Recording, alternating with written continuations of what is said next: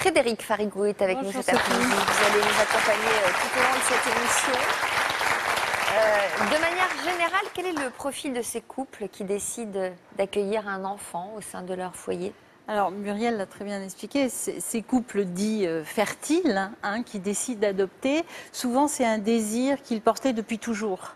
Que ce soit, et c'est un désir qui peut se concrétiser parce qu'il va être partagé par les deux conjoints, sans qu'on se l'explique pourquoi.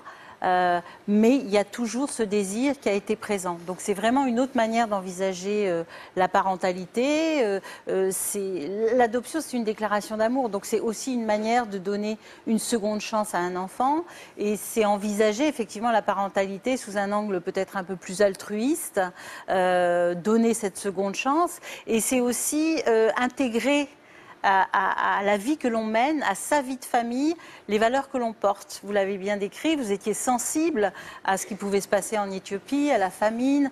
Et donc c'est intégrer dans son mode de vie au quotidien ces valeurs bah, de rapport à, la différence, sensibilité à la souffrance de certaines populations euh, et de tolérance aussi, hein, parce que ces familles qui intègrent des enfants venus d'ailleurs portent systématiquement ces valeurs-là d'ouverture euh, pour pouvoir effectivement après accueillir euh, parfois le regard des autres qui peut être jugeant et, et- et qui ces valeurs-là vont permettre euh, aux parents adoptants de- de- d'aider leurs enfants à s'intégrer au mieux.